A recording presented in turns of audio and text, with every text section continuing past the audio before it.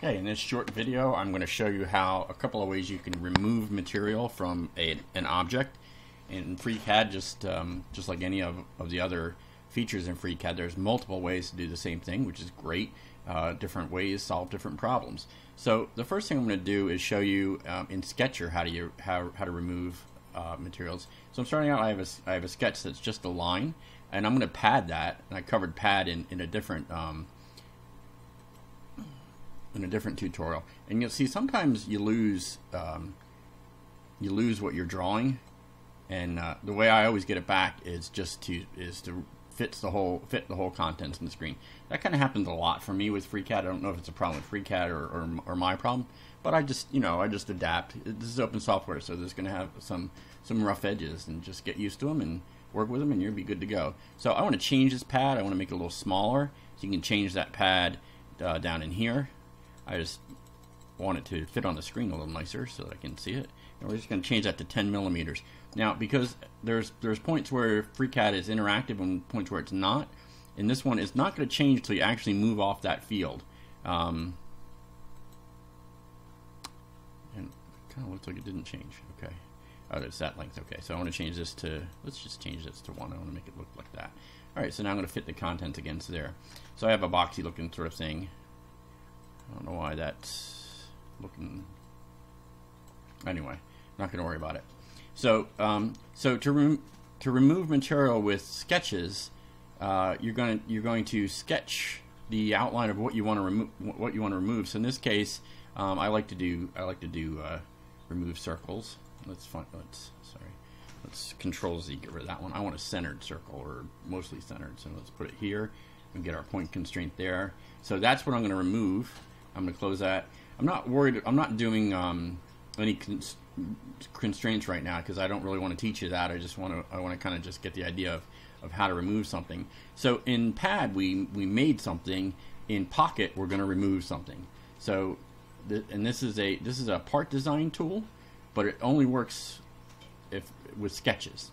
So so you'll see it's it's removed material, and in this case it went all the way through because this object is I think only one millimeter high or something.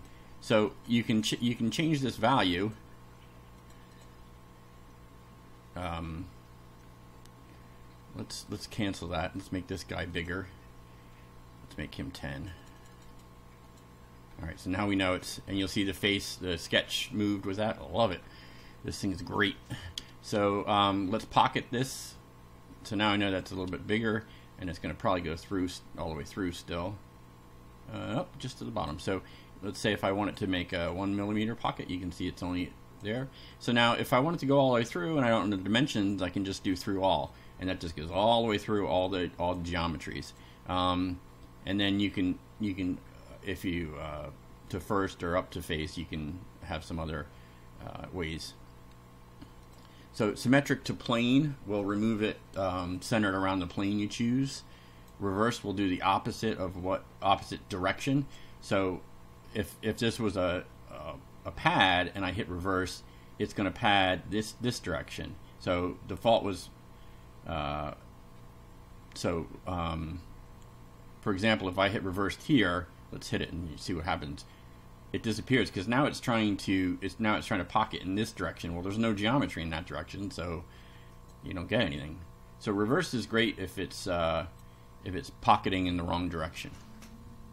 Um, so that's how you that's how you remove material with on a sketch-based geometry. So now if you go, let's go to a part the part workbench and do a solid geometry. Okay, so I'll do the same. I'm going to do a cube, and let's move that guy over. This is how this is one way you can ad hoc move things is transform, grab and uh, grab the arrow. Don't know why it's not letting me grab. Navigation. Oops, that's why. I go with Blender style. Um, so the navigation style you choose matters.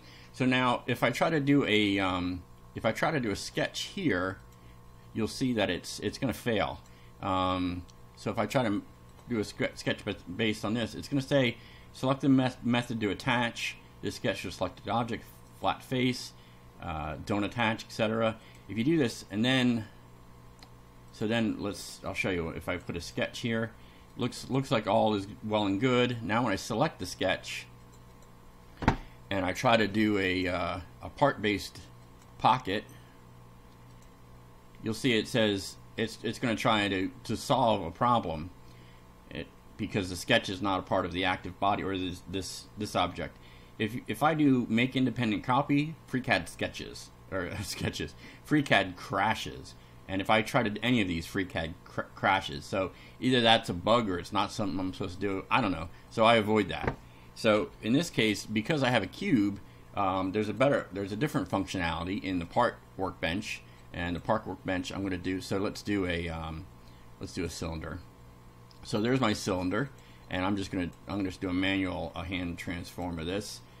Uh, so now my cylinder's right in the middle there. Now on, on FreeCAD, unlike OpenSCAD, it doesn't matter if the faces are on the same plane. FreeCAD understands that this is the face of the cylinder and then there's a face of the cube. It doesn't get confused by that and leave artifacts behind. So now to do it, to get rid of that, uh, the cylinder area in the center, you select a cube and you use your modifying key in, in, in Windows and in, um, in Linux it's control to select both. Don't know what it is in Apple. Um, and then these objects are um, Boolean operators. You can join them. So you make um, make them a union, or actually, I'm, no, it's not a union. This is uh, this is um, this is a Boolean cut. This is a union, and this is an intersection. Um, oh, so this is a generalized. It, it lets you do all three. So there's our cut all the way through. Now you notice it didn't give us any options about what what to do with a cut. But and if you go into here, you can you can change some of the aspects of the cut. Um, so you can, but you can't change the size of it. So you can't. I don't know if you can. Um, well, what you would do is you'd create the cylinder the size you want and and cut that out. So the sketch the sketch um, pocket tool is a little more interactive um, during the creation of the cut, whereas the the the, the solid the CSG, I guess, uh, method is or uh, constructive solid geometry. The, it's interactive in the creation of the two geometries. So um, now there's one more, I think.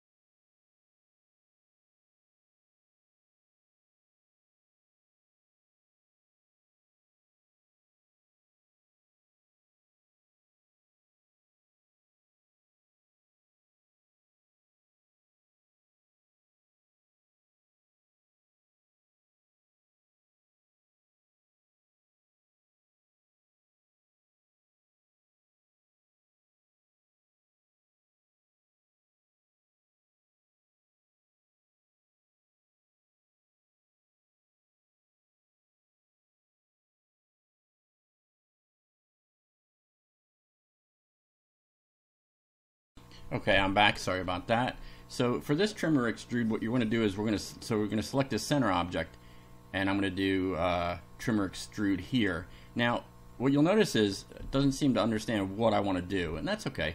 Um, it doesn't know which which direction I want to extrude in. So what I'm going to do is I'm just going to hit the Z key to tell it that's the direction I want to extrude in, and you'll see now now I've got an extrusion. You can see it coming through the bottom there. Okay, so now I've, ex I've extruded that way. That's, so that's a draft extrude.